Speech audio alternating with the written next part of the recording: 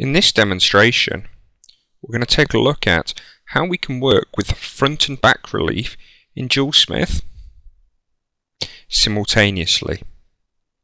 Here we have our created pendant.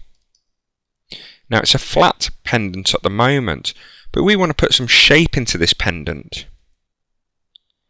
So what we're going to do with this one is I'm going to turn on in the 3D view my vectors.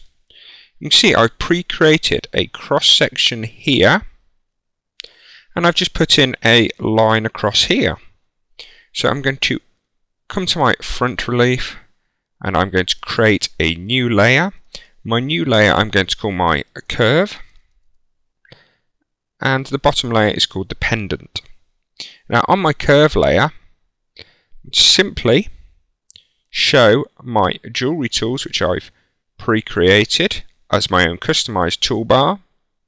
I'm going to open the extrusion tool and I'm going to use this curve here, this line, as my drive curve in which I'm going to extrude this curve here along and I'll just calculate this. So what we'll see is this curve extruded down this line. So I'll turn off my vectors and here we can see the curve. Now what we're going to do is just take a duplicate of this. So I'm going to come over here and right click and take a duplicate of that curve, that curved surface. I'm then going to right click and swap sides sending it to my back relief. So when I switch over to my back relief, this is what we have on the back, and this is what we have on the front. Now if we use the mesh creator, we could go through that process and we'd see what it would be, look like after triangulation. But if we just turn on my back relief on, this is viewing a double-sided relief, my front and back relief together. So with my front and back relief, what we will see is how they interact without the requirements from going into the mesh creator. So we can see our completely curved pendant by viewing in this mode. Now if I was to change the curve at all, so uh, we'll come across to this and we shall just turn back to our normal mode. We'll just switch back to the front relief and I'm going to create a new curve so we'll create a new relief. We'll call this curve 1. I'm going to turn off my old curve and my back relief, turn off my old curve. That's where you go to my front relief. So we're now working totally on the flat relief itself, the flat plane.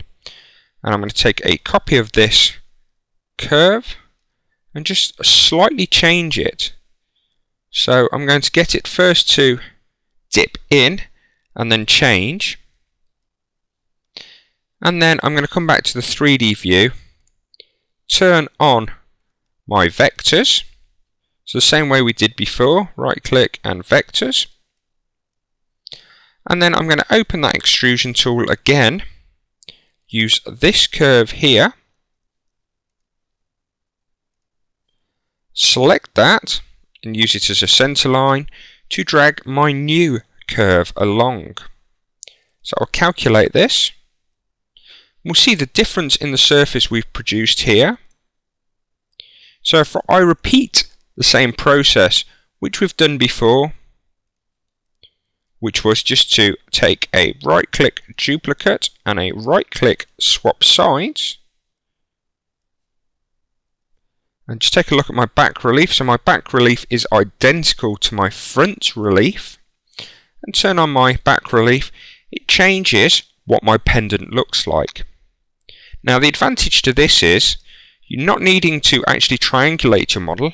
But if you fully require to, I can actually now work on my back relief and then come across and switch to my front relief and I can view the full 3D model as it is and actually do some design on the model. So this is working with using a front and back relief model simultaneously.